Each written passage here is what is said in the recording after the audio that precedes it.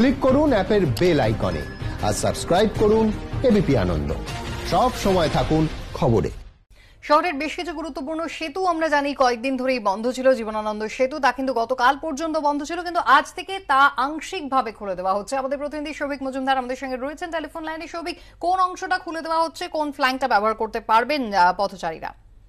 দেখো জি- সেতু আজ থেকে খুলে দেওয়া হয়েছে, কিন্তু পাশাপাশি এটা বলা হয়েছে যে ভারী পণ্যবাহী যে ট্রাক বা ভারী পণ্যবাহী যে গাড়ি, আর সেগুলো বন্ধ রাখা হয়েছে। তুমি জানো যে রোববার রোববার খোলার কথা থাকলেও, আর তা কিন্তু আরও চব্বিশ ঘণ্টা বাড়ানো হয়েছিল। মেরামতি কাজ শেষ না হওয়া পর্যন্ত, কিন্তু আপাতত ভাবে আজ থেকে জীবনানন্দ সেতু খুলে দেওয়া হয়েছে। কিন্তু ভারী পণ্যবাহী গাড়ি বা ভারী পণ্যবাহী ট্রাক, সেগুলো আপাতত ভাবে বন্ধ রাখা হয়েছে।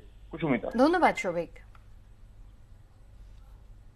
অর্থাৎ জীবনানন্দ সেতু দিয়ে কিন্তু যান চলাচল আবারও স্বাভাবিক হয়ে যাচ্ছে। ইস্টার্ন মেট্রোপলিটন বাইপাস থেকে রাজা সুবোধ মল্লিক রোড এবং প্রিন্স আনোয়ারশা রোডে রোডের সংযোগকারী এই সেতুর যে এক্সপ্যানশন জয়েন্ট তা বদল করার প্রয়োজন ছিল, তাই শুক্রবার থেকে সেতু বন্ধ থাকলেও আজ থেকে একেবারেই যান চলাচল স্বাভাবিক হচ্ছে।